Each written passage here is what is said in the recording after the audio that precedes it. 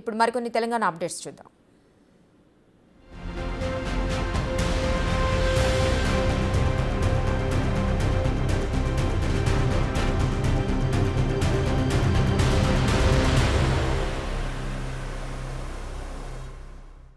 BRS MLC Padi Kaushik రెడ్డిపై సినీ నటి BJP నాయకురాలు జీవిత రాజశేఖర్ తీవ్ర వ్యాఖ్యలు చేశారు. కౌశిక్ రెడ్డి ఒక పెద్ద రౌడీ అని ఎవరితో ఎలా బిహేవ్ చేయాలో కూడా తెలియదని ఆరోపించారు. తన కుటుంబ సభ్యుడిపై కౌశిక్ రెడ్డి పరుషంగా ప్రవర్తించాడని గతంలో జరిగిన ఘటనను జీవిత రాజశేఖర్ గుర్తు చేశారు. జనగామ జిల్లా పాలకుర్తి నియోజకవర్గంలో వైఎస్సార్ తెలంగాణ పార్టీ అధినేత్రి వైఎస్ షర్మిల పాదయాత్ర కొనసాగుతోంది. ప్రజాప్రస్థానం యాత్రలో భాగంగా నీరా టెస్ట్ చేశారు. లక్ష్మీనారాయణపురం స్టేజి వద్ద ఓ కల్లు గీత కార్మికుడి కోరిక మేరకు నీరాను రుచి చూశారు. తనకు అలవాటు లేదని చెప్పిన షర్మిల గీత కార్మికుడి విజ్ఞప్తితో కొద్దిగా నీరాను తాగారు.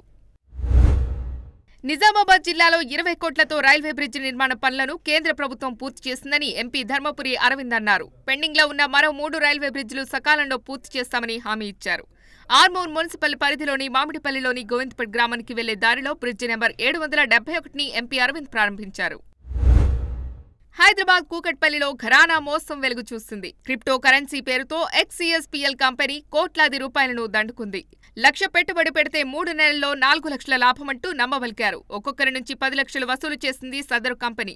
రోజులు గడుస్తున్న లాభాలు కనిపించకపోవడంతో బాధితుల్లో అనుమానం మొదలైంది. ఇదేంటని ప్రశ్నిస్తే సదరు కంపెనీ నిర్వాహకులు స్పందించడం లేదు. దీంతో బాధితులు పోలీసులకు ఫిర్యాదు చేశారు.